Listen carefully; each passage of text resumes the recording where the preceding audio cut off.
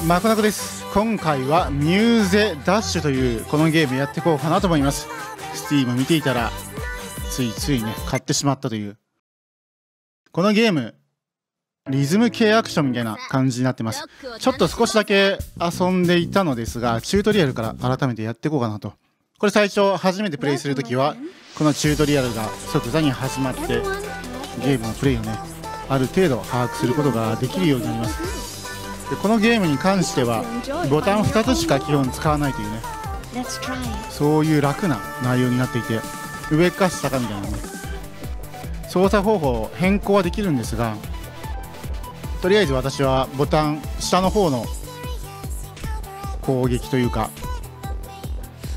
当てるのはボタンで上の方はスティックとか十字キーとかそういう設定になってます。多分初期は全部そういう感じなんじゃないかなとで今同時押しをすることによって上下両方とも来る時も倒せるみたいな。でこのかわさなきゃいけないものは上の方行くことによってかわすことができる。ここはボタン長押し、まあ、そのように多分リズム系アクションやってる人であればねこの辺り普段やってるゲームと変わらないんじゃないかなと思うんだけれども。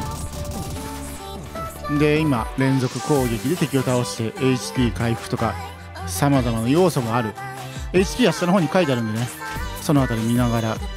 といってもね見る余裕この手のゲームねないと思うけどね。キャラクター可愛らしく描かれてるのは見えるんだけれどもなかなかそこまでの余裕はない。で連続攻撃やってる最中にまた別方向敵とかが来たらボタンを押しながら他のことをねやっていく。ちょっと今の最後失敗したけれどもきっと大丈夫という話になるんでこれ失敗するともう一回やり直しみたいね。もう一回やり直したらどうかみたいな感じで言われるんで。とりあえずこんな感じでチュートリアルあります。他にも日本語当然反映されてるほか音量調整とか。ちょっとねこれ初期の段階だと音量が高すぎる可能性があるんで調整しながら。あと操作設定とかもできるんでこの辺りこういう今設定にやっててもうまく反映されてないんでちょっとこの辺りどうなのかというのは今あります。他クレジットとかありますけれどもまずはゲームの方やっていきましょう。キャラクター3人いるんだけれども今のところ1つだけ初期の選べるものをねできてるような状況です。では早速これやりましょう。そしてこのゲームなんと360円で買えるっていうね。ある程度曲数は限られるものの360円で最初のねプレイが楽しめる気軽に本当に買えるようなゲーム設定というか価格設定になってますんで試しにやってみるのも良いと思います。今現在 Steam のみなのかな？だがこの内容であれば Nintendo Switch とかに出てもねおかしくないかなと思うんだけどね。で後々語りますけれどもちょっとキャラクターのイラストにまあ成人向けというほどではないんだけれども少しそういった要素もしくは音声にあるそうなので暗喩するかのようなねものがあるのでそうなるとプレステだと厳しいのかなとかね考えたりしますけどね。プレステ4だとね最近の情勢だと。なのでもし Nintendo Switch で出るんであればやってみるのもね良いと思います。ちょっと出るかどうか分かりませんけれども。過去このメーカーペロペロソフトだっけかな？あペロペロゲームズかな？そのメーカーが Nintendo Switch で出してるかどうかまだ確認してませんけど出てるんであればねこれも出る可能性がある。ということで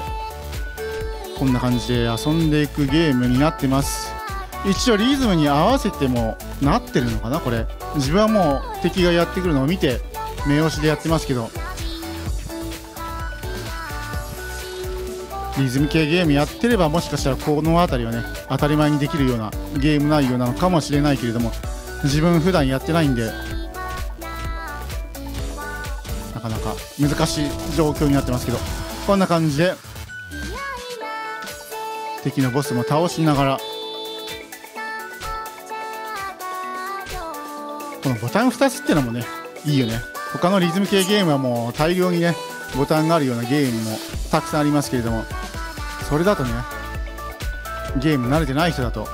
難しすぎて遊べないみたいなねところもありますからね。とはいえ今は簡単ですけれども後々難しいステージになれば敵が大量に出てきてっていう感じになると思うのでその辺りどうなるか進めていかないとその辺りはわからない。こんな感じでランク A を獲得しそしてこれはレベル上がっていくことによって曲が解放されるというね要素もあるので今レベル2でこれ解放されて今次はレベル3解放されるのをなんとかっていう感じで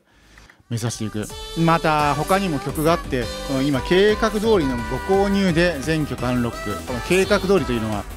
ダウンロードコンテンツの名称となってるんですけれどもこれがなんと3000円ぐらいするっていうね。なので初期の段階では360円で、まあ、それでも結構なこの曲数あるのでで開放型で解禁していくことによって曲数が大量に増えてきますがそれプラスさらに遊びたい場合もしくは他の曲をやりながらレベルを上げていきたい場合はこうしたアンロックのものをね買っていくことによって今のところアンロック1つしかなくて、まあ、ダウンロードコンテンツ1つしかなくて多分これ軒並み全部反映されるんじゃないかなと思うのでこの辺り興味があればね買ってさらに楽しむということも可能になってます。ではもう一曲ちょっとやってみましょうか。間もなくレベルも上がりきりそうなんでレベル2で解放されるこの曲をやってみましょう。さてそこまで難しくはないのかなと思うんで本当に気軽にねゲームを遊ぶという点では優れてるのかなと。それこそ、まあ、360円400円ぐらいであればね1時間遊べればもう十分ぐらいのね金額ですしね。もししっかりと全部開放していこうとするんであればそれこそ長い時間遊び続けることが可能だと思います。あとはこの手の曲好みかどうかみたいなところも出てきてしまうんで多分ネット系の何かで作られた曲、まあ、同人とかそういう感じなのかなともしくは歌い手とかね。なのでそっち系の曲が好きでないと受け入れるのがなかなか難しいかもしれませんけどテレビとかで放映されてる曲じゃないと楽しめないとかアニメとかで使われてる曲じゃないと楽しめないっていうそういう人からするとね あれ今のダメ？そういう人からすると曲の面で他のがいいとか言う人もいるでしょうけどね。これ右側キャラクターちゃんと描かれてるんだけど見る余裕がないんでね。ああ失敗した。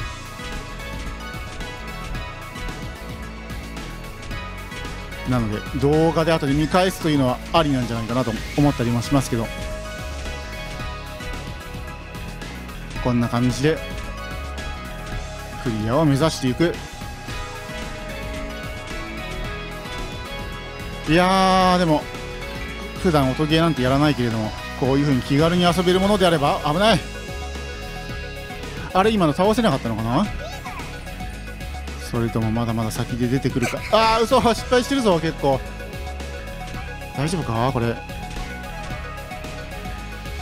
多分レベル2の段階で手に入る曲だから多少なりともね難しくなってるんだろうなとか言い訳をしておきますけど。これボタン長押しで。最初の段階で長押しを失敗するとこの後長いこと何もできずの状況が続いてしまうんで。最初だけ気合を入れていく。うんボスは倒せなかったか？ということで、まあ、こんな感じでゲームが進んでいく。でこれ一回録画したんですけどこれ失敗したんですよね。でそれなんでかというと多分だけどちょっと設定出しますけど設定でディスプレイここのフレームレートこれ制限なしとかあるんですよね。で制限なしでやるとものすごいフレームレート数でゲームが動くのでそれで PC が負荷かかって録画が最終的に失敗ってなったのかなとかね。そんなことも思ったりしますのでこの辺りの設定もねちゃんと直していく必要があるかなと。自らでね。でここでクレジットとかもあるんだけれどもそれだけじゃなくボタン押して切り替えると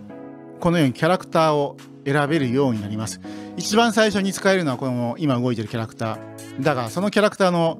模様替えというか衣装替え。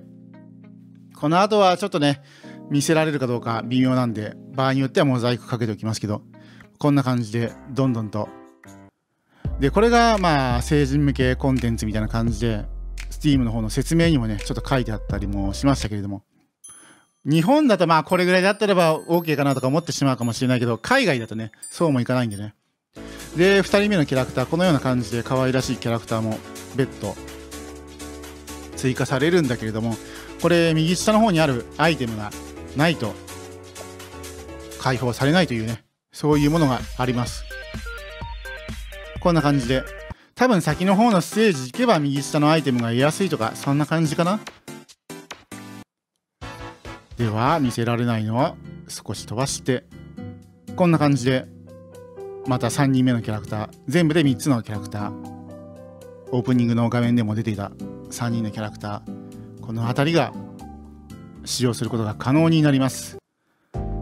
うん、この辺りももうちょっと微妙かなっていう感じのね、キャラクター見た目ね、映せないかもしれない。まあそこまで過激ではないんだけれどもね。というわけでこんな感じでキャラクターもいろいろあって、さらになんか付随するような、くっつけることができるようなキャラクター、こうしたものもありますので、これでステータス上げたりとかしながら遊んでいくことが可能です。あとはアイテムが表示されたりとか、様々な何かの要素、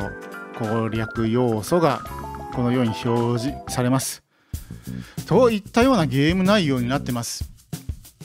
気軽に本当に遊べるようなゲームなんで、遊んでみるのも良いんじゃないかなと。自分もね、なぜ買ったのかよくわからんけど、たまたま Steam ストア見てたら表示されていて、つい最近発売されたということだったので、買ってプレイをやってみました。ぜひ興味があれば、特に音ゲー好きな人、またキャラクター可愛いなとか思った人は、ぜひプレイしてみてください。今後も様々なゲーム実況やってきますので、興味ありましたらチャンネル登録、また今回の動画、このゲーム面白そうだと思ったら高評価よろしくお願いします。ではでは。